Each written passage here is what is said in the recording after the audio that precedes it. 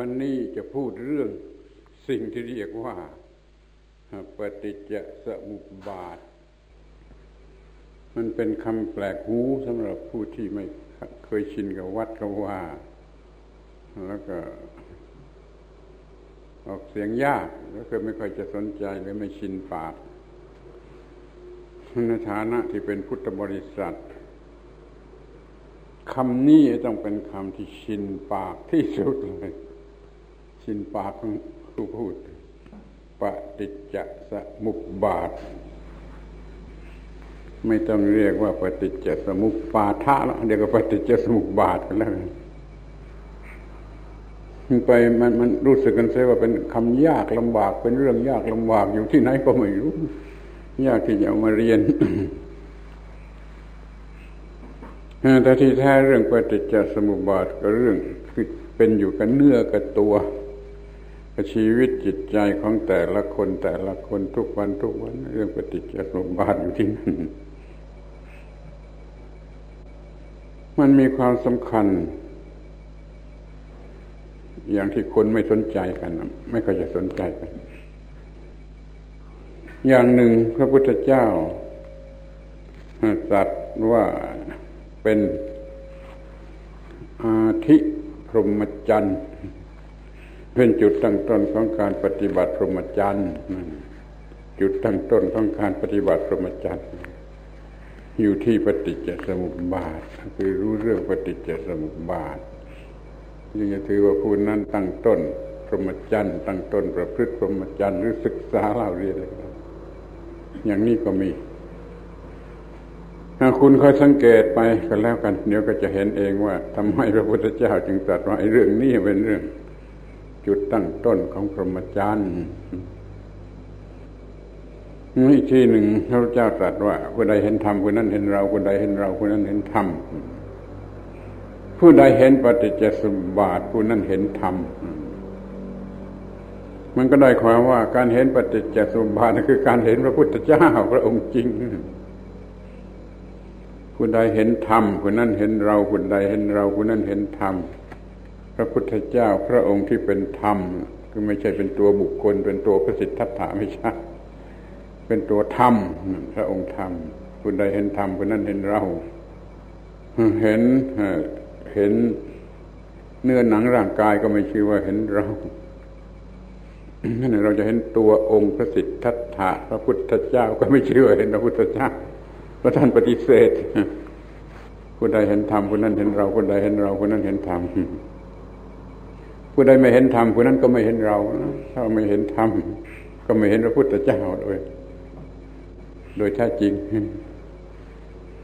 คนเป็นนั้นมากในอินเดีย ก็เห็นพระพุทธเจ้าเดินไปเดินมาก็ไม่รู้จักก็ไม่สนใจก็ไม่ สนใจหรือถ้าว่าเป็นขัดหูขัดตาก็ ก็จะพานด่าก็มี ผู้หญิง โดยมากเขาไม่ชอบไม่ชอบพระพุทธเจ้าพันด่าพระพุทธเจ้าว่าดีแต่ทำให้คนเป็นไม้ผู้ชายที่เป็นสามีเอาไปบวชเสียผู้หญิงเป็นไม้เป็นโดยมากการเห็นองค์เนื้อหนังพระพุทธเจ้านั้นยังไม่ชื่อว่าเห็นพระพุทธเจ้าเราเมื่อใดเห็นธรรมะ จึงจะชื่อว่าเห็นพระพุทธเจ้าและธรรมะที่เห็นนั้นคือปฏิจจสมุปบาท ตัวธรรมะในที่นี้คือเรื่องปฏิจจสมุปบาททุกเกิดอย่างไร ทุกดับอย่างไรนะทุกเกิดอย่างไร ทุกดับอย่างไรเรียกว่าปฏิจจสมุปบาท แล้วมันก็ควรจะเป็นเรื่องเงินเบื้องต้น เบื้องต้น เงินต้นของพระมจรรย์นะถ้าไม่มีจุดตั้งต้นว่า จะดับทุกข์อย่างไรแล้วจะมาบวชทำไม จะมาเรียนทำไม จะมาปฏิบัติทำไม มันต้องมีความต้องการโดยตรงเพื่อจะดับทุกข์จึงอยากมาบวชมาเรียนมามันจะดับทุกข์มันก็ต้องรู้ว่าทุกข์เกิดอย่างไร ทุกข์ดับอย่างไรเรื่องนั้นคือเรื่องปฏิจจสมุปบาทหากแต่มันเป็นเรื่องทางจิต เรื่องเกี่ยวกับจิต จะเรียกก็ไม่เกี่ยวกับร่างกายก็ได้ หรือเกี่ยวกับร่างกายน้อยที่สุดเพราะว่าเป็นเพียงที่ตั้งแห่งจิต นิดหน่อย แต่ตั้งหมดตลอดสายเป็นเรื่องทางจิตทั้งนั้นของปฏิจจสมุปบาทสังเกตดูดิไอ้เรื่องจิตจิตที่ปรากฏแก่เราที่เรารู้สึกต่อสิ่งที่เรียกว่าจิต มันคำมันหมายกับเรื่องเล่นเล่นลมลมแรงแรงไม่รู้อยู่ที่ไหน ได้จะพูดไม่รู้จักจิตเราเองก็ไม่รู้จักจิต รู้สึกเป็นว่าเรื่อง ไม่ไม่มีตัวตนลมลมแรงแรงไม่มีไม่มีน้ำหนักไม่มีความหมายอะไรเรื่องจิต เพราะว่ามันมาให้น้ำหนักกับความหมายกับเรื่องเนื้อหนังเรื่องเงินเรื่องทองเรื่องสุขสนุกสนานอร่อยอร่อยทางอายตนะนี่ มาสนใจเรื่องนี้กันเลยเป็นดุนเป็นก้อนเป็นอะไรตามที่เรียกกัน เรื่องทางจิตเลยเงียบหายเงียบหาย มันไม่ค่อยจะเป็นที่เอาจริงเอาจังมันเลยไม่รู้ ไม่รู้เรื่องจิต ไม่รู้เรื่องจิตก็รู้แต่ชื่อ รู้แต่เรียกเรียกชื่อ แล้วก็ก็เรียกชื่อกัน ถึงแม้จะมีเรื่องจิตปรากฏอยู่ มันก็ไม่ไม่ไม่ไม่รู้จัก รู้จักไม่รู้จักตัวจิตเมื่อคนบ้านี่มันก็บ้าไปก็ไม่รู้จักเรื่องจิตหรือว่าเป็นทุกข์เป็นร้อนก็เป็นทุกข์เป็นร้อน ไม่รู้จักเรื่องจิตมันเหมือนกับผีหลอกหรือหายตัวได้ ไม่รู้อยู่ที่ตรงไหนเรื่องจิตแต่ว่าเรื่องปฏิจจสมุปบาทนี่มันเป็นเรื่อง จิตมันหลีกไม่พ้น ที่ต้องศึกษากันอย่างจริงจังให้รู้จักในตัวสิ่งที่เรียกว่าจิต จึงจะรู้จักปฏิจจสมุปบาท เห็นปฏิจจสมุปบาทแล้วก็ชื่อว่าเห็นธรรม เห็นธรรมแล้วก็ชื่อว่าเห็นพระพุทธองค์พระองค์จริง พระองค์จริง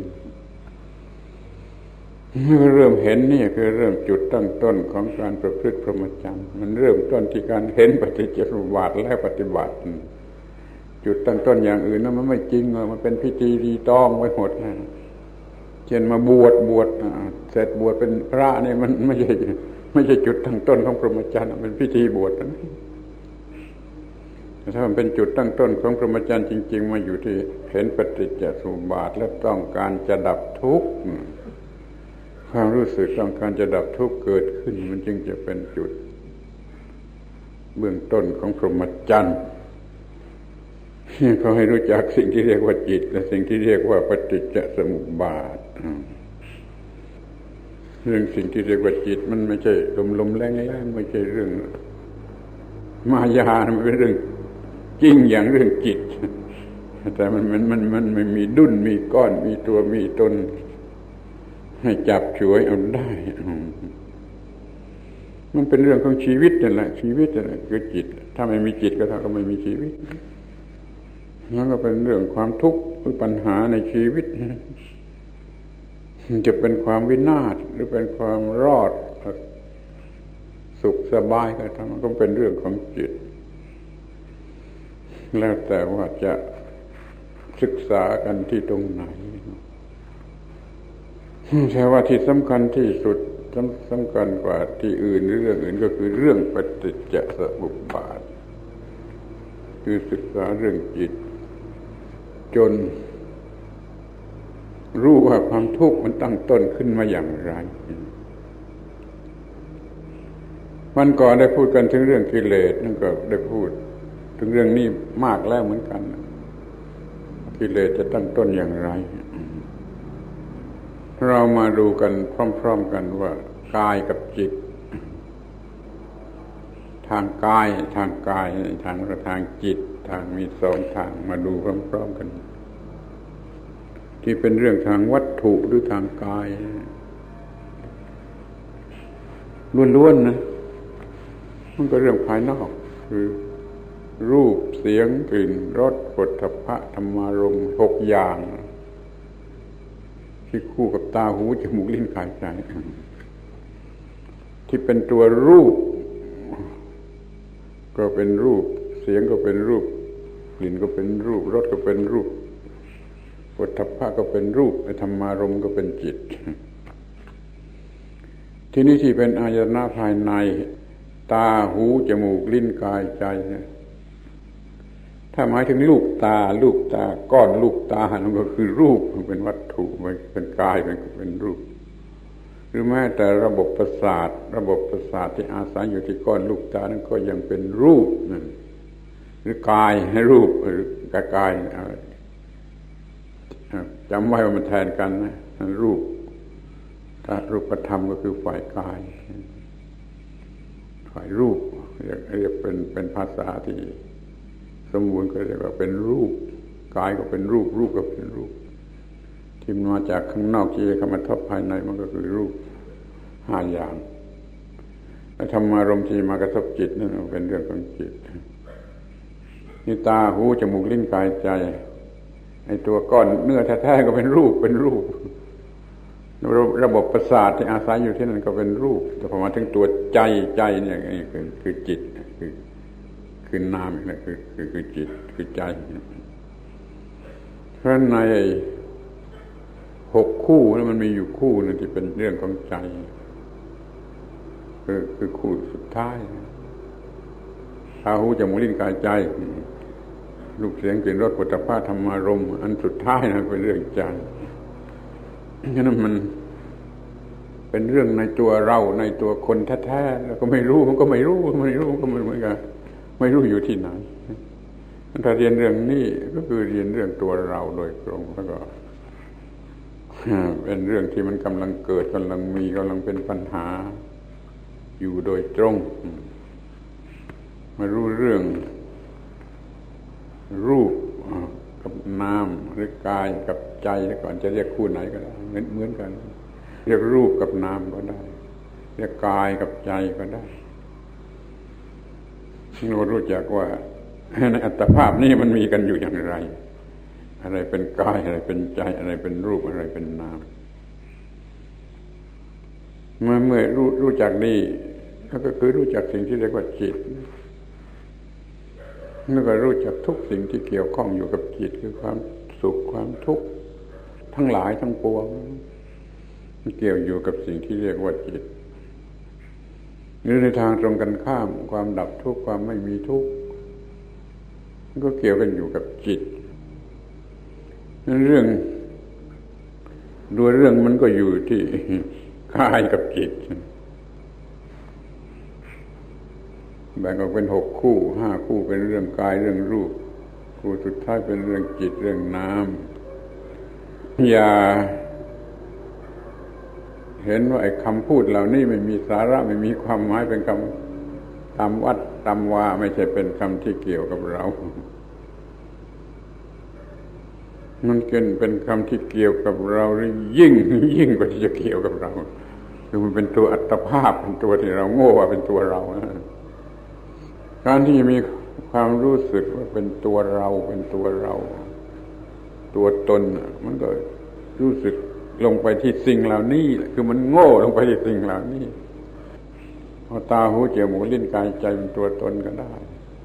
แล้วก็รูปเสียงกลิ่นรสปุถะภาพเป็นของตนก็เอาการเห็นการได้ยินได้ฟังเป็นการกระทำของตนนั่นมันก็เลยเป็นตนอย่างเข้มข้นอย่างเข้มข้นฉะนั้นเรามาศึกษา เรื่องนี้เรื่องกายกับใจก็ได้เรื่อง รูปกับนามก็ได้เรื่องจิตโดยเฉพาะ เพราะว่าเมื่อจะเล็งถึงสิ่งที่มันนำหน้าหรือสูงสุด มันอยู่ที่จิตมันไม่ได้อยู่ที่กาย เพราะว่ากายเป็นไปตามหน้าแห่งจิตแม้ว่าจิตจะจะตั้งอยู่บนกายกายรองรับจิต แต่มันก็เป็นไปตามอำนาจของจิต นี่ก็เป็นสิ่งที่ตั้งเนื่องกันไม่มีกาย จิตก็ไม่มีที่อยู่ไม่ปรากฏ ไม่มีจิตกายก็ไม่มีความหมายอะไร ไม่มีความหมายอะไรเลยกายกับจิตต้องมาอยู่ด้วยกันมันก็เล่านิทานไว้เป็นอุปมาว่าคนหนึ่งตาบอด คนหนึ่งเป็นง่อย ถ้ายังแยกกันอยู่ก็ทำอะไรไม่ได้ เอามาร่วมกัน เป็นคนเดียวกัน คนง่อยขี่หลังขี่คออยู่ก็บอกคนตาบอดจะทำอย่างนั้นอย่างนี้นี่ลักษณะที่ว่าจิตนี้บังคับกายเป็นไปตามที่ต้องการที่นี่มันก็มีปัญหาว่ามันจะไปผิดหรือไปถูก ของสองอย่างนี้ คนง่อยกับคนตาบอดมันจะเดินทำอะไรถูกหรือผิด ถ้ามันไปทำผิดมันก็เกิดความทุกข์ ถ้ามันถูกถูกต้องมันก็ไม่มีปัญหา มันก็ไม่มีความทุกข์ต้องศึกษากันให้ละเอียดละเอียด เกี่ยวกับทุกระดับทุกตอนนี้มันสำคัญที่ว่าพระพุทธเจ้าท่านสัตย์ยืนยันมั่นเหมาะว่า เราพูดแต่เรื่องทุกข์กับดับทุกข์เท่านั้น ก่อนนี้ก็ดีเดี๋ยวนี้ก็ดีทศาคตบัญญัติ แต่เฉพาะเรื่องทุกข์กับดับทุกข์มีอย่างนี้ เป็นสองเรื่องทุกข์กับดับทุกข์แต่เรื่องทุกข์มันขยายออกไปเป็นเหตุให้เกิดทุกข์มันก็เลยได้เป็นสองเรื่อง เรื่องดับทุกข์ก็เห็นทางให้ถึงความดับทุกข์มันก็เลยได้เป็นสี่เรื่อง เป็นสี่เรื่องที่ต้อง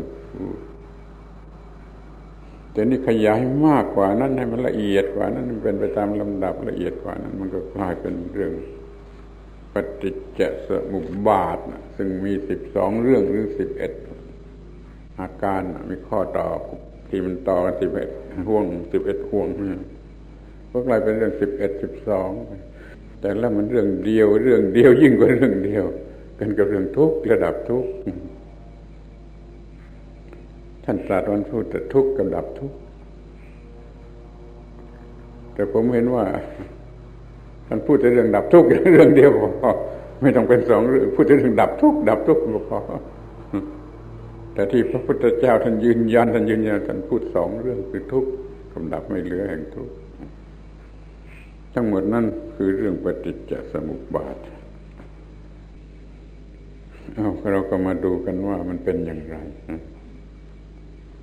ปฏิจจสมุปบาท สูตรชนิดที่พระพุทธเจ้าท่านตรัสว่า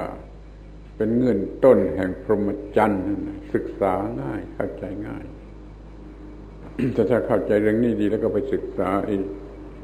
ที่มันแยกออกไปอีก เข้าใจยากที่เรียนกันในโรงเรียนนักธรรมก็ได้อีกเหมือนกัน แต่การที่ไปเรียนเรื่องในอย่างโรงเรียนนักธรรมเลยโดยตรงมันเข้าใจยาก เข้าใจยากครูเองยังสอนไม่รู้อะไรอ้าวนี่เราจะพูดกันอย่างที่พระพุทธเจ้าตรัสเองแล้วก็ที่จะเป็นเงินต้นแห่งพรหมจรรย์ท่านก็ตรัสว่าอะไร คือตามอายตนะหกคู่นะหกคู่นะคู่ตาก่อนแล้วคู่หูคู่จมูกไปตามลำดับคู่ตา จะคุณจะปฏิจจะรูเปจะอุปัชติวิญญาณังอาศัยตา อาศัยรูปด้วยตาด้วย รูปที่รูปมากระทบตาแล้วตาด้วย กระทบกันก็เกิดจากสุวิญญาณ คือการเห็นทางตาเสียงด้วยหูด้วยนี่ ถึงกันข้าก็เรียกว่า โสตะวิญญาณ วิญญาณทางหู กลิ่นกระทบจมูกกลิ่นกับจมูกถึงกันก็เรียก เกิดคานะวิญญาณวิญญาณทางจมูกรสถูกเข้ากับลิ้น เกิดรู้รสทางลิ้นก็เรียกว่ารสชิวหาวิญญาณ วิญญาณทางลิ้น อะไรมาถูกผิวกายโผฏฐะมาถูกผิวกายโผฏฐะกับกายถึงกันเข้า ก็เรียกว่าวิญญาณทางกาย กายะวิญญาณ อารมณ์กระทบจิต ก็เกิดมโนวิญญาณมโนวิญญาณ ก็เลยได้วิญญาณหกอายนะภายในก็หกอายนะภายนอกก็หกวิญญาณก็หกนี่ข้อแรกนะเอาที่ไล่ไปตามลำดับเรื่องตาก่อนเนี่ยตากับรูป ปฏิจจะแปลว่ามาถึงกันข้าว อุปัชติจักขูวิญญาณังเกิดจักสุวิญญาณ เป็นสามเรื่องขึ้นมา ตาเรื่องหนึ่ง รูปเรื่องหนึ่งจักสุวิญญาณเรื่องถ้าสามอย่างนี้ถึงกันอยู่ คือตาสัมผัสรูปทางจักสุวิญญาณอยู่ อาการนี้เรียกว่าผัสสะผัสสะตินนั่งธรรมานั่งสังคติผัสโซ สิ่งทั้งสามนี้ถึงกันอยู่ก็เรียกว่าผัสสะรู้จักผัสสะเรื่องที่สี่นี่ผัสสะปัจจยาเวทนาก็มีผัสสะก็มีเวทนา คือความรู้สึกทางผัสสะทางตาหูจมูกลิ้นกายใจครบทุกทางอีกเหมือนกัน มีเวทนาทาง ทางตาทางหูทางจมูกทางนี้นี่เรื่องที่ห้าคือเวทนา เพราะเวทนาเป็นปัจจัย มีตัณหา เป็นเรื่องที่หกพระตัณหาเป็นปัจจัยก็มีอุปาทานเรื่องที่เจ็ดมีปาทานเป็นปัจจัยก็มีภพเป็นเรื่องที่แปดภพเป็นปัจจัยก็มีชาติเรื่องที่เก้าชาติเป็นปัจจัยก็มีทุกข์ทั้งหลายเป็นเรื่องที่สิบสิ่งที่ สำคัญที่สุดที่มันจะเกิดเรื่องไอ้ตัวที่มันจะเกิดเรื่องก็คือตัวผัสสะเรามีผัสสะทางตาผัสสะทางหูผัสสะทางจมูกมีผัสสะถ้าเราไม่ไม่มีผัสสะมันก็ไม่มีเรื่องอะไรในโลกนี้ไม่มีอะไร ที่จะต้องไม่มีอะไรซะด้วย แต่เพราะมีผัสสะมีผัสสะมีการกระทำที่เรียกว่าผัสสะ มันก็มีเวทนาคือรู้สึกไปตามผัสสะที่ตาหูจมูกลิ้นกายใจนี่เดี๋ยวนี้มารู้สึกอยู่ที่ตาหูจมูกลิ้นกายใจแต่ละอย่างแต่ละอย่างเป็นเวทนาแปลว่าความรู้สึก ถูกใจก็เรียกว่าสุขเวทนาไม่ถูกใจก็เรียกว่าทุกขเวทนาเป็นกลางกลางไม่ถูกใจก็ไม่ใช่ ไม่ถูกใจก็ไม่ใช่ก็เรียกอทุกขมสุขเวทนา ว่าสุขว่าทุกข์ว่าอทุกขมสุข ที่จริงมีอยู่มากที่ตาเห็นรูปหรือฟังเสียงก็ตามแล้วแล้วมันมันมันมันมันเลิกกันไปมันเลิกกันไป คือมันไม่เอามาเป็นสุขหรือเป็นทุกข์ถ้ามาเป็นสุขหรือเป็นทุกข์ทุกเรื่องมันคงจะแย่มาก นี่คุณลืมตาเห็นอยู่ใช่ไหมตาก็เห็นเห็นทุกอย่างแต่ก็เลิกไม่รู้สึกเป็นสุขหรือทุกข์ ไม่เกิดเวทนาที่เป็นสุขหรือเป็นทุกข์มันก็ไม่มีเรื่องแต่ถ้าตามันไปเห็นในสิ่งที่มีความหมาย ให้เกิดความพอใจก็เกิดสุขเวทนาทางตา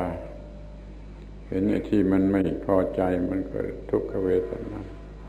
ถ้าไม่ให้ความหมายอะไรก็เป็นอทุกขมสุขเวทนา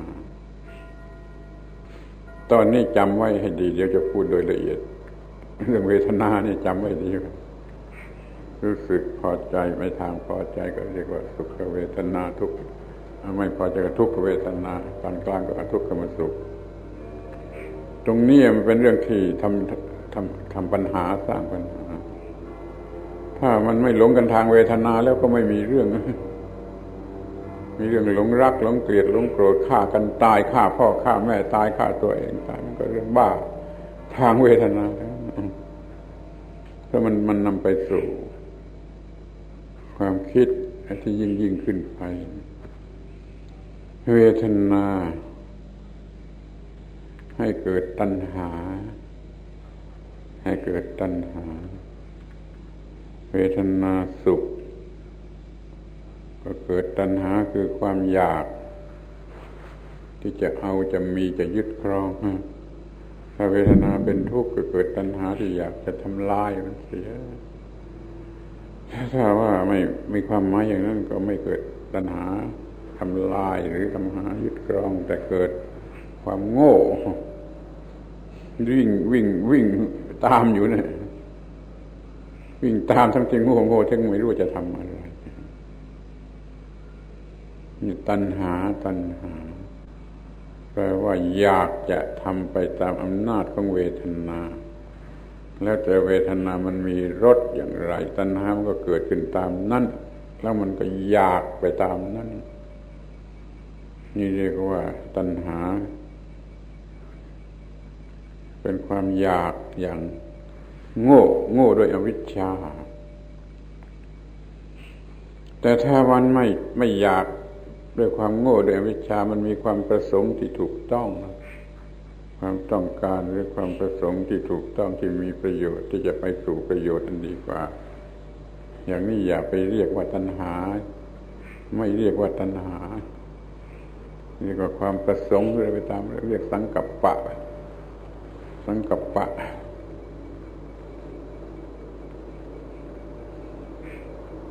ถ้าเรียกว่าตัณหามันเลวร้าย มันเป็นเรื่องกิเลสเป็นเรื่องโง่เป็นเรื่องหลงโดยอวิชชา ถ้าเป็นเรื่องสังกัปปะนะมัน จะไปเป็นเรื่องของสติปัญญาก็ได้เช่นเราประสงค์ จะดับกิเลสจะดับทุกข์ประสงค์นิพพานอย่างนี้ไม่เรียกว่าทันหาเรียกว่าสังกัปปะเขาประสงค์ดีประสงค์โดยความรู้ประสงค์โดยวิชา ก็เรียกว่าสังกัปปะ อย่าไปเรียกทันหา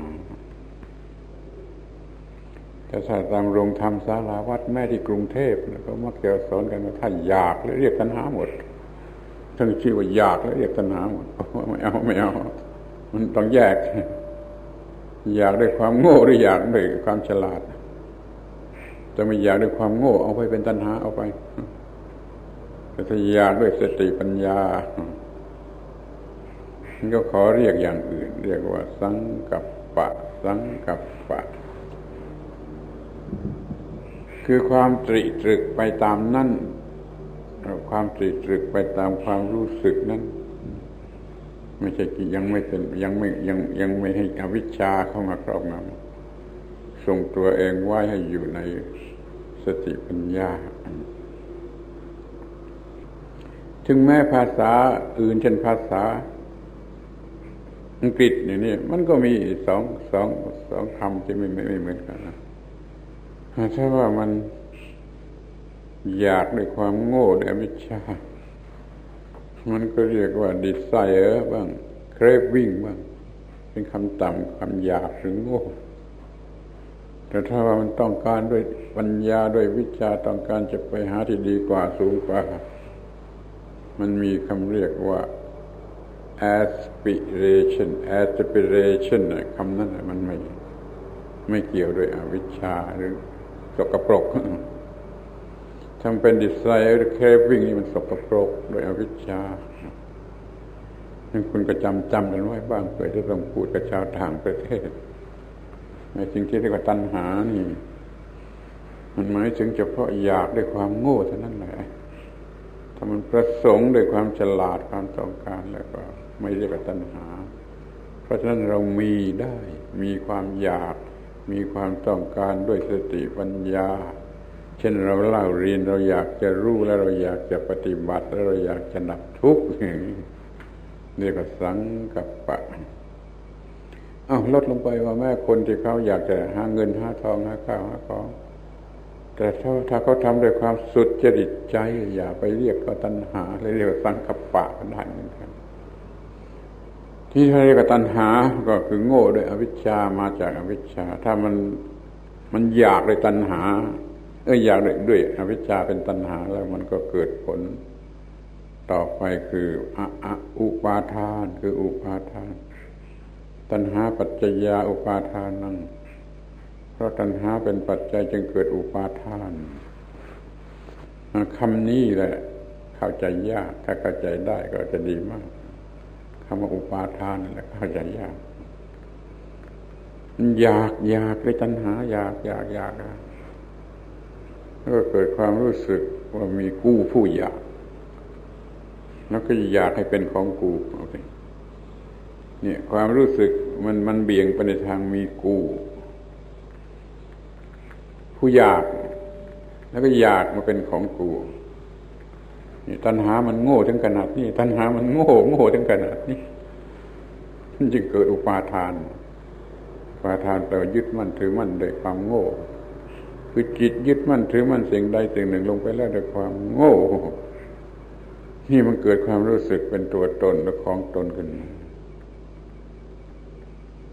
ที่ตรงนี้มันมันมันมันซอยละเอียดหน่อยแยกกันอีกหน่อยมีอุปาทาน หมายมั่นยึดมันเป็นตัวกูของกูขึ้นมาเป็นจุด เชื่อตั้งต้นเป็นจุดตั้งต้น จุดตั้งต้น มีคำว่าตัวกูตัวกูรู้สึกขึ้นมานั่นเรียกว่าพบพบแล้วความมีความเป็นแห่งตัวตนพบ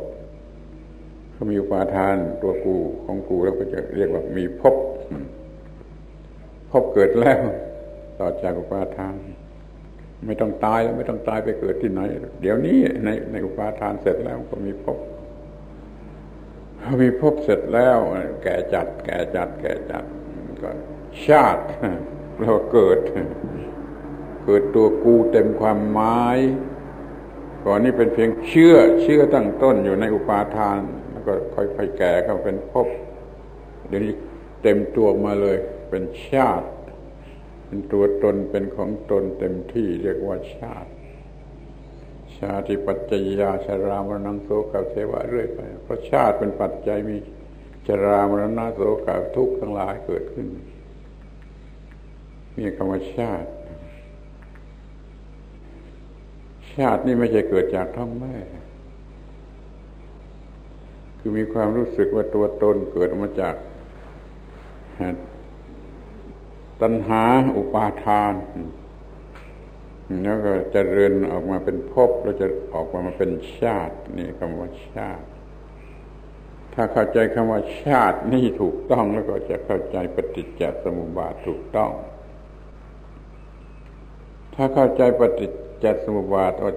เข้าใจชาติชาติเป็นเรื่องเกิดจากท้องแม่แล้วก็ผิดหมด มันผิดหมดไม่รู้เรื่องไม่ไม่มีทางจะรู้เรื่อง มันไม่เกี่ยวกับชาติจากท้องแม่มันเป็นชาติทางจิตทางนามธรรม ทางจิตทางนามธรรมจะเรียกว่าทางวิญญาณก็ได้แต่มันจะไปสับสนกับวิญญาณตัวต้นที่ชาติทางจิต หรือชาติทางอุปาทาน ชาติที่เกิดทางจากอุปาทาน ชาติทางจิต พอมีชาติก็มีตัวตนมีเป็นตัวกูของกูแสดงออกมาจับยึดนั่นนี่ภายนอกนอกเสร็จชราเป็นของกูเอาความแก่เป็นของกู ความเจ็บเป็นของกูเป็นความตายเป็นของกู อะไรอะไรเป็นของกูไปหมด แล้วกูเน่ะเป็นผู้ที่มีปัญหา กูไม่ได้สิ่งที่ตัวกูรัก กูได้สิ่งที่กูไม่รักกูปรารถนาสิ่งใดแล้วก็ไม่ได้สิ่งนั้น นี่คือตัวปัญหา ที่มันเกิดมาจากความมีชาติ ชาติว่าตัวกูว่าของกูฟังดูแล้วก็เป็นเรื่องเป็นเรื่องยุ่งยากลึกลับซับซ้อนนะจริงๆมันก็ไม่ยุ่งยากลึกลับซับซ้อน แต่ว่ามันเป็นเรื่องที่ไม่เคยฟัง ไม่ก็จะเคยได้ยินได้ฟังมันดูเป็นยุ่งยากซับซ้อนนี่ถ้าว่ามันเป็นคนจริง เป็นคนจริง มันก็อุตส่าห์ศึกษาสิ เพราะมันเกิดมันเกิดอยู่แก่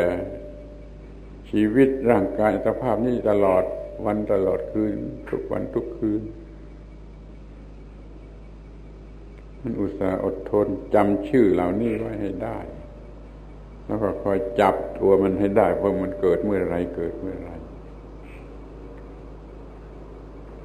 ชัดเจนว่าเมื่อไรตาเห็นรูป แล้วเกิดจากสู่วิญญาณ สามอย่างนี้คือผัสสะมีผัสสะแล้วก็มีเวทนา นี่หมายความว่าที่มันเป็นไปโดยสมบูรณ์มันมีเวทนา มันผัสสะเฉยๆมันผัสสะทิ้งเสียผัสสะทิ้งเสียก็แยกไปก็รู้จักที่ว่าผัสสะที่ไม่สนใจปล่อยดับไปเฉยๆก็แยกแต่ว่าผัสสะที่มันมีเรื่องก็ว่า อารมณ์นั่นมันเป็นที่ตั้งแห่งความ น่ารักน่าพอใจน่ายึดถือ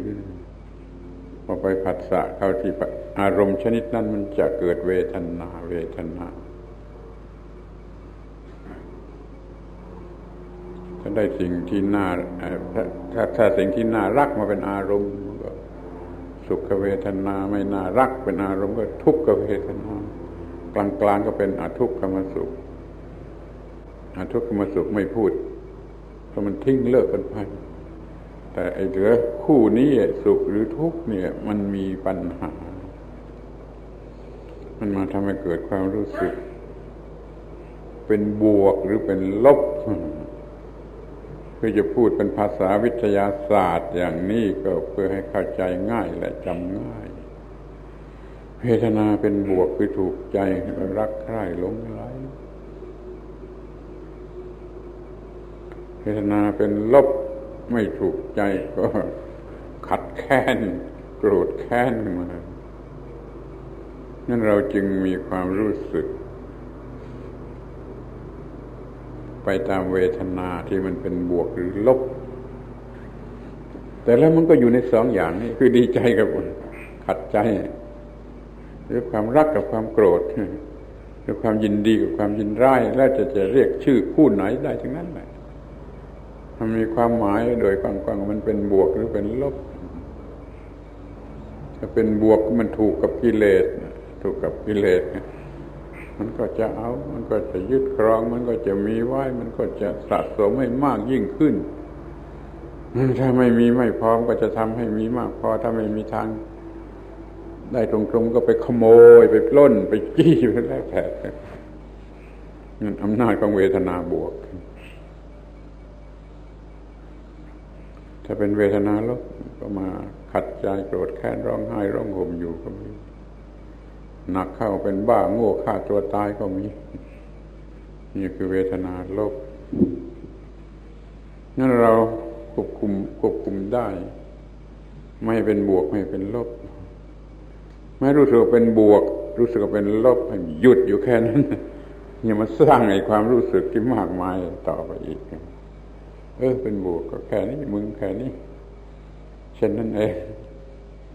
ลบก็แค่นี้เช่นนั้นเอง อย่ามาทำให้เป็นฟืนเป็นไฟขัดใจขึ้นมา ในจิตใจ นี่ต้องมีความรู้เรื่องนี้แล้วมีสติ สติ สติจำไว้สติสติบังคับไว้มันเป็นแต่สักว่า เวทนาสักว่าเวทนาไหมมันเป็นสักว่าเวทนาตามธรรมชาติตามธรรมดา ไม่ให้บวกไม่ให้ลบอะไรหรือถ้าเป็นบวกเป็นลบให้หยุดอยู่แค่นั้นอย่ามาปรุงแต่งให้เกิดอะไรต่อไป ถ้ามีสติไม่พอมันก็รู้สึกไม่ทัน มันไปหลงเป็นบวกเป็นลบเป็นตะเลิดเปิดเปิงเป็นกิเลสสนุกสนานไปเรื่อยถ้าสติไม่ไม่พอ ถ้าสติมีพอมีทันก็หยุดอยู่ควบคุมไว้ ให้หยุดความเป็นบวก ให้หยุดความเป็นลบไว้เพียงเท่านั้น ก็คือไม่ไปหลง รักหรือหลงเกลียด คือไม่ยินดีและไม่ยินร้าย จิตใจปกติสม่ำเสมอ เมื่อไม่เป็นบวกไม่เป็นลบไม่ให้รู้สึกเป็นบวกเป็นลบแล้ว มันก็ไม่เกิดตัณหาเวทนามันก็หยุด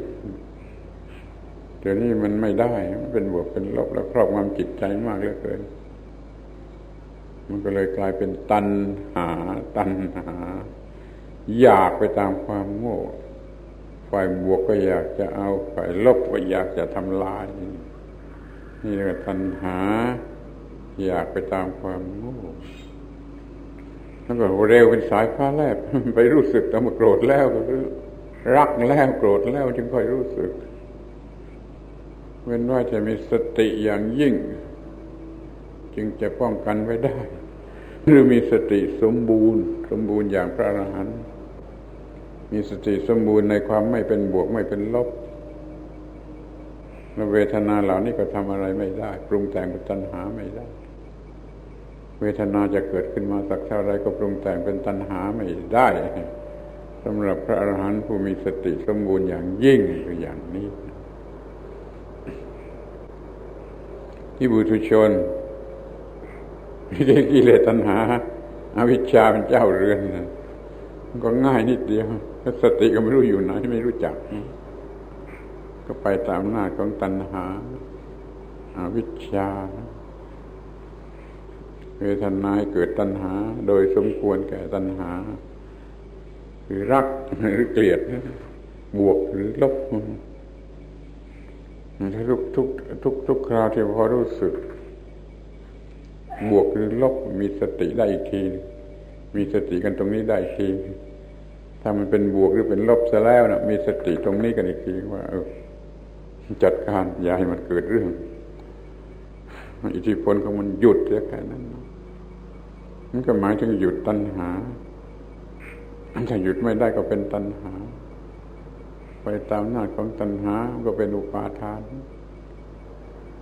ตัวกูของกูก็ปฏิสนธิตั้งปฏิสนธิขึ้นมาในคันนั่นก็แก่ข้าวแก่ข้าวเป็นพบมันคันแก่ข้าวคันแก่ข้าวพอถึงโอกาสหนึ่งก็ลุ่งออกมาเป็นตัวกู ชาติเรียกว่าชาติเกิดตัวกูเกิดของกูโดยเต็มเปี่ยมโดยสมบูรณ์อารวาสอะไรนี้เป็นผีบ้าตอนนั้นนี่ถ้าคุณพยายามภาษาเข้าใจนี่จะดีนี่พ ระพุทธเจ้าท่านเอามาท่อง อยู่โดยพระองค์เอง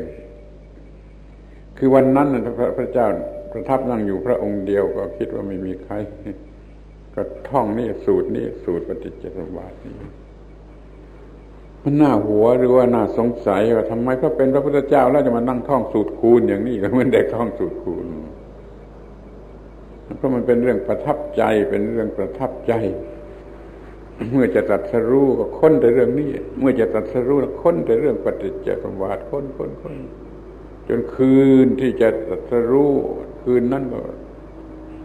ทบทวนแต่เรื่องนี้ ทบทวนแต่เรื่องนี้ มันสิงเหมือนกับสิงมันข้าวสมองข้าวกระดูกสำหรับเรื่องปฏิจจสมุปบาทกับพระพุทธเจ้า ผมก็สันนิษฐานเอาเองว่าทำไมท่านเอามาท่อง เหมือนกับว่าเราวางเวลา สบายใจนั่งอยู่คนเดียวก็ว่าอะไรเล่นนะว่าอะไรเล่นจะสันดานบุตุชนก็ว่าเรื่องกามารมณ์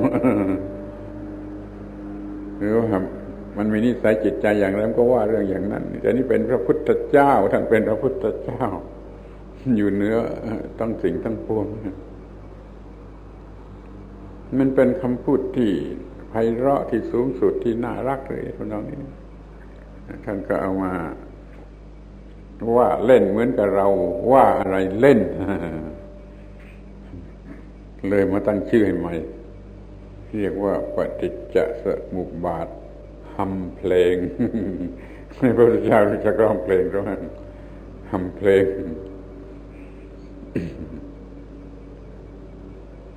ขึ้นต้นด้วยตาจากคุณจะปฏิจจรูเปจะอุปัชติวิญญาณัง ตินังธรรมานังสังคติพัสโซพัสสะปัจจยาเวทนา เวทนาปัจจยาตัณหาตัณหาปัจจยาปาทานังวาทานปัจจยาปโวภวปัจจยาชาติ ชาติปัจจยาชรามนังสุกับเทวทุกขตมวายาสะ อิมัสสะจนความความทุกข์ทั้งทั้งข้อนี้ยืดยาวนี่ก็เรื่องตาแล้วก็เป็นเรื่องหูอีกจมูกอีกทำนองเดียวกันให้พระเอิญในพิกษุองค์หนึ่งมันแอบอยู่ข้างล่างเลยข้างข้างข้างฝาแอบฟังอยู่พระพุทธเจ้าท่านเดี๋ยวไปเห็นก็อ้าวเองอยู่นี่แกอยู่นี่ เอาไป เอาไป อุคันห้าตัวเอาไปเอาไปเอาไปเอาไป อาทิพรหมจรรย์ อาทิพรหมจรรย์ เงื่อนต้นแห่งพรหมจรรย์ท่านคำชับว่านี่เงื่อนต้นแห่งพรหมจรรย์แค่เอาไปเอาไปศึกษาและปฏิบัติ นี่เราเรียกว่าปฏิจจสมุปบาทชนิดนี้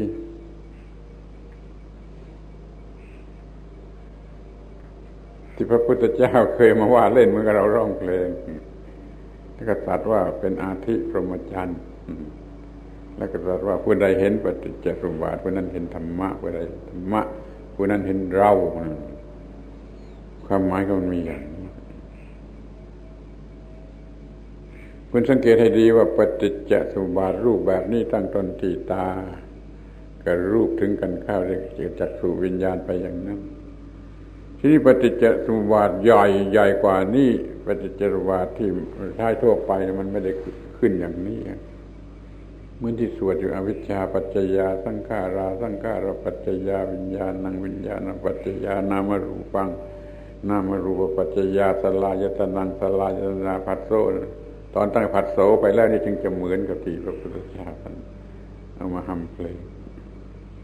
ให้ข้ามจะบอกให้ชัดอีกทีหนึ่งว่า สิ่งเหล่านี้มาจากไหน บทแรกว่าอาวิชชาปัจจยาสังขาราเพราะอาวิชชาเป็นปัจจัยอำนาจการปรุงแต่งจึงเกิดขึ้นอำนาจการปรุงแต่งอำนาจการปรุงแต่ง ฟังให้ดีจำไว้ให้ดีคำว่าสังขาระในที่นี้ สังขารในที่นี้แปลอำนาจการปรุงแต่ง สังขารปัจจยาวิญญาณนังเมื่ออำนาจการปรุงแต่งเป็นปัจจัยวิญญาณ ก็มีวิญญาณก็เกิดขึ้น ที่ผมอธิบายว่าไม่มีทางอื่นนอกจากว่าอำนาจปรุงแต่งไปเอาวิญญาณ วิญญาณธาตุตามธรรมชาติมาปรุงแต่งเป็นวิญญาณทางอายตนะ คือวิญญาณที่จะมาประมาที่จะมาประจำที่ตาหูจมูกลิ้นกายใจมันถูกปรุงแต่งขึ้นมาจากวิญญาณธาตุนั่นบาลีจังว่า สังขารปัจจยาวิญญาณนังพระสังขารเป็นปัจจัยจึงมีวิญญาณ คือวิญญาณที่จะประจำอาจนะวิญญาณปัจจยานามรูปังพอได้วิญญาณอย่างนี้มาเอามาเคียงคู่กันเข้ากับรูปหรือร่างกาย มันก็ได้สิ่งที่เรียกว่านามรูปนามรูปคือกายใจ ใจกายใจกาย นามรูปคือใจกาย ถ้าไม่มีวิญญาณเหล่านั้นมาเป็นคู่มันก็ไม่มีใจและกายเกิดขึ้นได้ นามรูปไม่เกิดขึ้นมาได้เอาวิญญาณนั่นมาด้วยมาเป็นคู่เข้ากับร่างกาย มันก็เกิดสิ่งที่เรียกว่านามรูป นามรูปปัจจยาสลายตนังเมื่อมีนามรูปเป็นปัจจัยสลายตนะ คือสิ่งที่สามารถรู้สึกทางตาหูจมูกลิ้นกายใจที่อาศัยนามารูปนี้มันก็มีสิ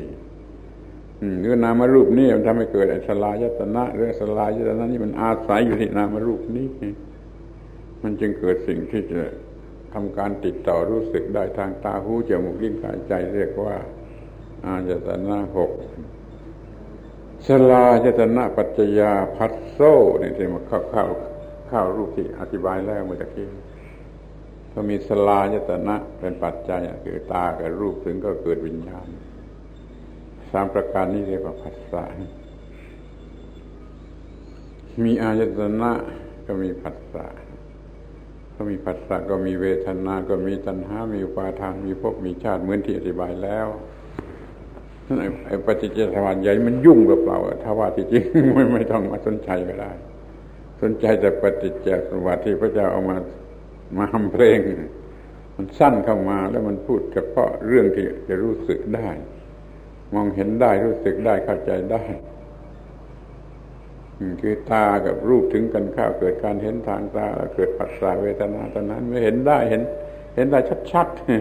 ๆถ้าจะไปพูดเป็นอวิชชา เกิดสังขารสังขารเกิดวิญญาณจะไม่รู้อยู่ที่ไหนแล้วคน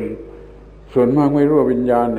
วิญญาณธาตุอยู่ที่ไหน อวิชชาอยู่ที่ไหนจะมาทำกันอย่างไร จึงจะมาเป็นวิญญาณทางอายตนะมันมันลำบากอย่างนั้น แต่ก็มันไม่เหลือวิสัย ถ้าพยายามศึกษาไปมันก็เข้าใจได้เข้าใจได้ในโรงเรียนมันสอนกันผิดผิดถูกถูกเอาเกิดนามารูปแล้วเกิดจากท้องแม่แล้วพอนามารูปเกิดเกิดจากท้องแม่แล้วเดี๋ยวเดี๋ยวไปตอนท้าย ชาติปัจจยายที่เกิดจากเกิดจากท้องแม่อีกครั้งนึงเลย ยุ่งกันใหญ่ทำไมเกิดทั้งสองหนเป็นเรื่องเกิดจากท้องแม่ทั้งสองหนที่มักสอนกันอยู่ตามโรงเรียน มันไม่ได้เกี่ยวกับท้องแม่ เรื่องปฏิจจสมุปบาททั้งสองชนิดนี่ไม่ได้เกี่ยวกับท้องแม่มันเกี่ยวกับว่าชีวิตจะเป็นคนแล้วนี่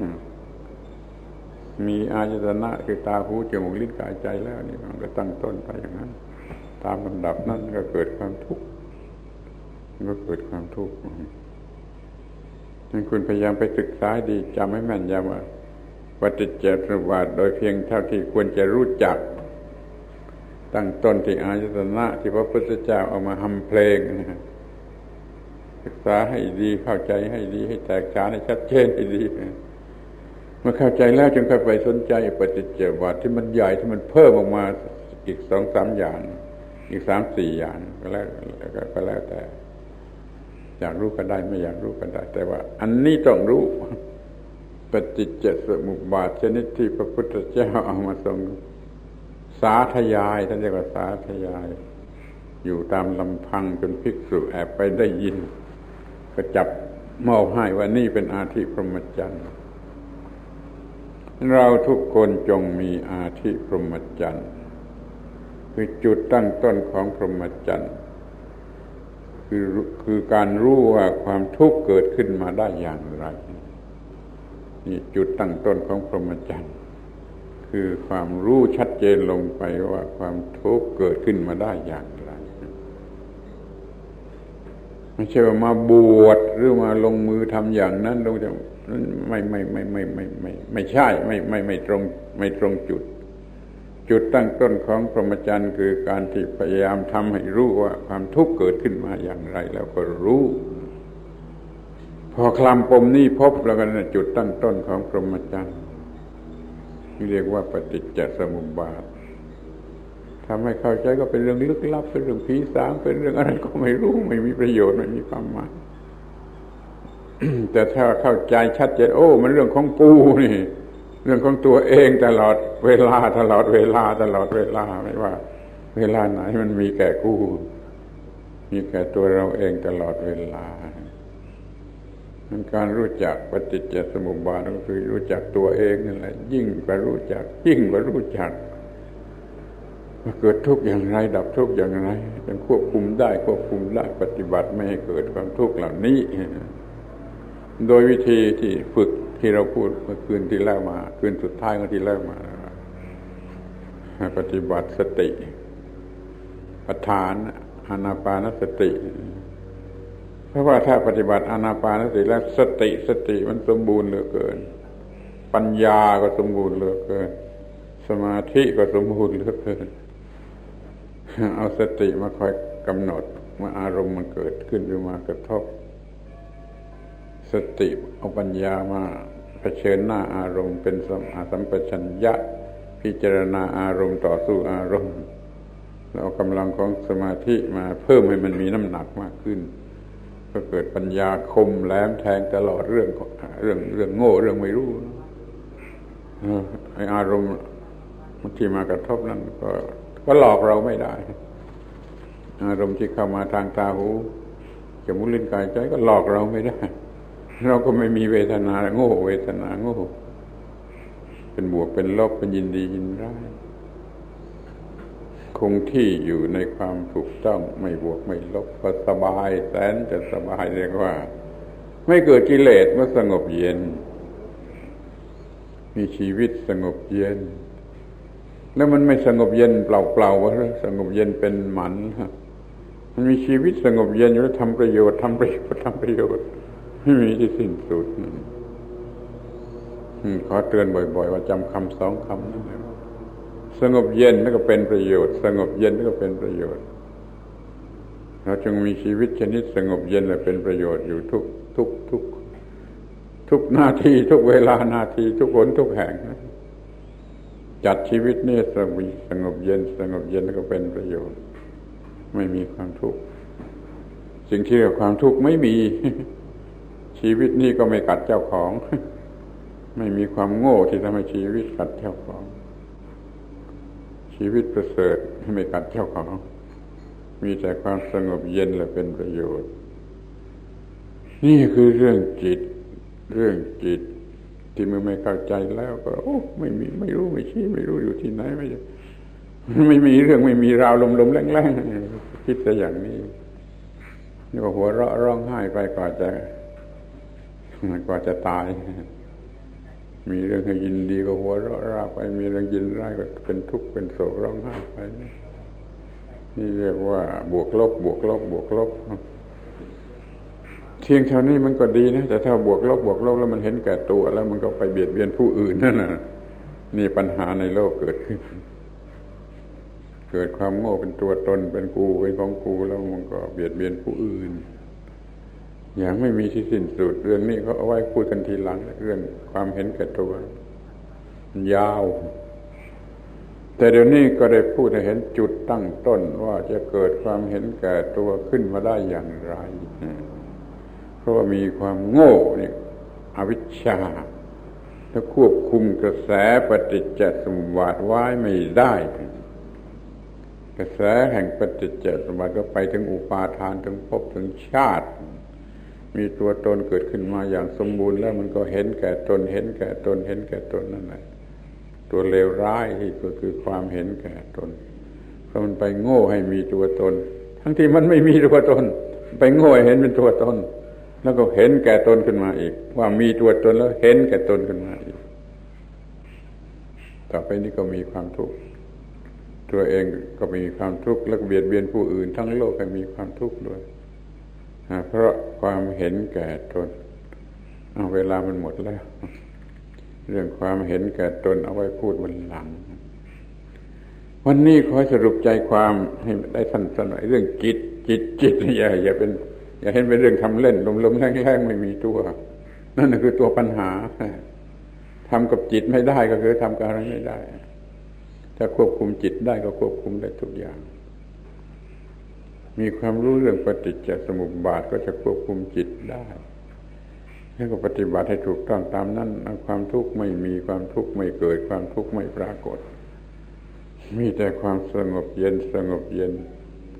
แล้วก็เป็นประโยชน์สงบเย็นเย็นเย็นนี่เป็นความหมายของนิพพานเอาไว้พูดกันสักทีก็ได้เรื่องนิพพานโดยเฉพาะ วันนี้ขอยุติการบรรยาย แล้วก็ปิดประชุมปิดประชุม